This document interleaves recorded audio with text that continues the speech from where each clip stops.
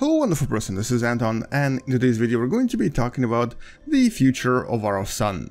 And specifically we're going to be talking about relatively recent research that seems to have established what exactly will happen to our own sun in approximately 5 billion years from now. Well, welcome to What Da Math and let's find out.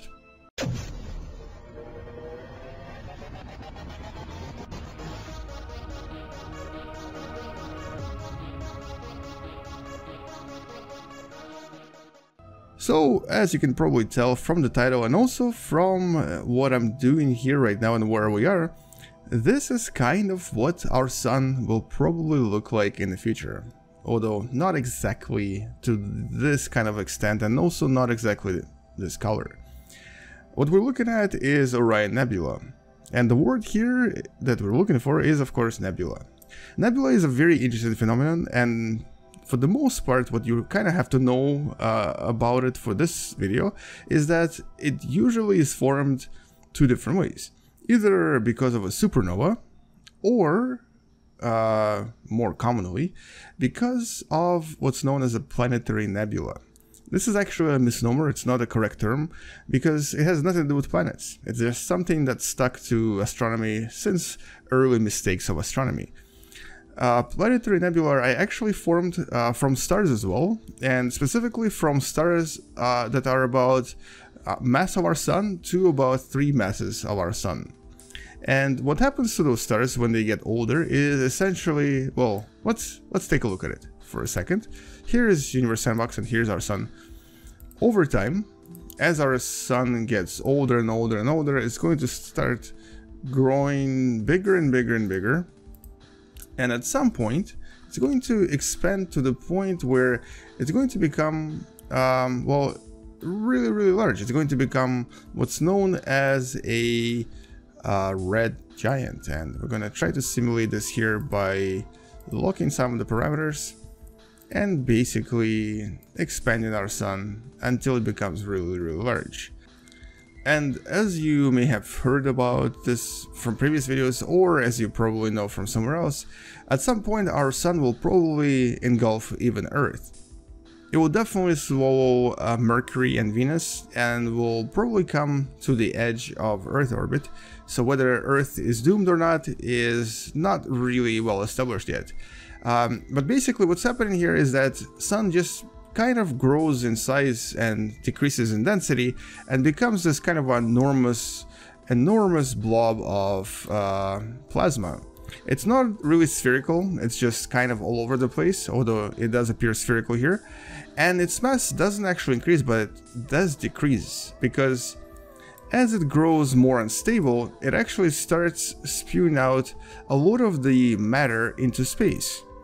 So it actually starts kind of pulsating. Now it's kind of hard to simulate this here, but imagine if it suddenly kind of increased and then started decreasing in size again. So it starts pulsating and because it pulsates, it starts releasing uh, a lot of uh, external matter here, which we can actually simulate by basically throwing off a few of the particles here at relatively similar velocity where um, they would be in real life.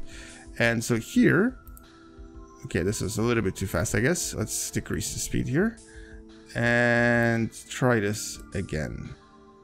Okay, it's kind of hard to see, but there they are. They're sort of coming off our sun right now.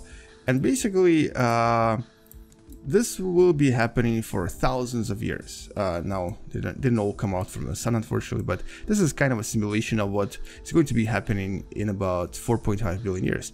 And so this matter will actually start expanding, and this gas is going to spread across very, very, very wide areas of space.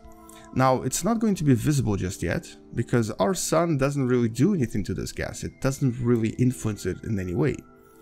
Uh, but as the time goes by, at some point, our sun will actually lose most of the external shell. And what's going to happen on the inside, its core is actually going to start collapsing and becoming more and more dense and more and more hot. As a matter of fact, this heating effect is actually what is really, really crucial here. With smaller stars, this heating effect is not too extreme, and those stars, when they actually uh, turn into white dwarfs eventually, they're not as hot as our sun and our sun is going to become a very very hot white dwarf. And this is actually what makes this particular research from 2018 uh, somewhat different from the research before. And specifically the uh, study called mysterious age invariance of the cutoff of the planetary nebula luminosity function by Krzysztof Gesicki, an astrophysicist from uh, Nicholas Copernicus University discovered that it's really the mass of our sun where you kind of can establish a cut cutout point for these planetary nebulae. In other words, anything less massive than our sun will most likely produce a planetary nebula that's going to be invisible. But in case of our sun, in about 5 billion years, it, it is at some point going to create a somewhat uh, easily visible nebula, uh, planetary nebula specifically. So it's going to turn into white dwarf and we're going to try to simulate what all of this is going to look like by basically exploring our sun. So we're going to create a supernova here, which is maybe not as realistic, but we have no choice. So there is that uh, white dwarf in the middle, and basically this will be a representation of a supernova. Um, or in this case, it's just a planetary nebula. And so all of this material as soon as the sun becomes white dwarf, suddenly lights up, and this is actually where it gets really interesting. Until the sun becomes a hot uh, white dwarf, nothing really happens. You don't really see anything. But as soon as our sun becomes uh, a very, very hot, hot white dwarf with temperatures of over 30,000 degrees Kelvin, this is when suddenly you get to see something that would resemble Cat's Eye Nebula, which is actually one of the most famous planetary nebula. You suddenly get this. And all of this is created and formed by the white dwarf, extremely, extremely hot white dwarf right in the middle.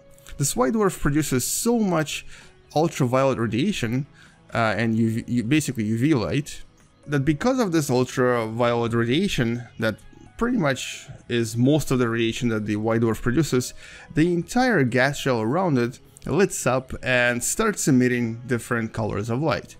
For every star, this color of light will be different, mostly because of different amount of UV light produced and also a lot of other uh, factors such as the actual material that was released prior. Uh, but overall, it will usually look something like this. It will be absolutely magnificent, extremely beautiful, and we'll have this distinct uh, shape as well that is slightly different uh, from a typical supernova that's usually a lot less structured. Now, there's quite a lot of famous uh, planetary nebula, and all of them are actually quite uh, dramatic in their appearance and very, very, very beautiful. But I guess Cat's Eye is one of the most famous ones. There are, are a few other ones, such as, for example, NGC 7662, which also kind of looks relatively similar. And uh, I guess one of the most famous ones is this one right here, the Dumbbell Nebula, also known as M27 uh, or Messier 27, discovered by the French astronomer back in the days. Um, back in 1784, as a matter of fact, before we even knew what these were. And uh, so these nebula are essentially the future of our sun. Now, the more massive the star, until it kind of reaches the point where, where it goes supernova, uh, the more brilliant and the more beautiful the planetary nebula it produces. And anything below one mass of the sun will still have the actual envelope around it, but it's actually not going to make it so vibrant. As a matter of fact, the nebula will most likely be almost completely invisible. So had our sun been a little bit less massive in size, it would actually produce something that would look like this. This is why I, I decided to create this here, because it's not a very uh, easily visible uh, planetary nebula, and it's also not very vibrant. This would be something that would be created by anything with 90% of mass of our sun or less. Uh, until, of course, you reach the point of red dwarfs, which don't even undergo through this uh, kind of a change. But when it comes to our own sun, this is probably what it's going to look like. Here's actually what all of this may look like from our neighbor Alpha Centauri. It's going to be this relatively brilliant, very, very beautiful uh, planetary nebula that's at some point going to even engulf this area. But obviously all of this is just dust and the leftover material from the envelope or of our sun that's being irradiated by the ultraviolet light coming from the white dwarf that's right there in the middle.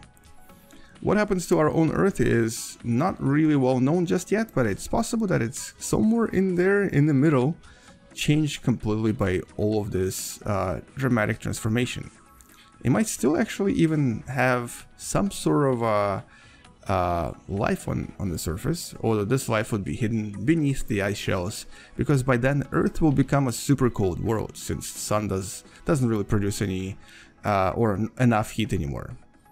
So all in all, this is the most likely final stages of our sun before the last few stages that our sun will undergo before it becomes a white dwarf and then eventually changes into a black dwarf.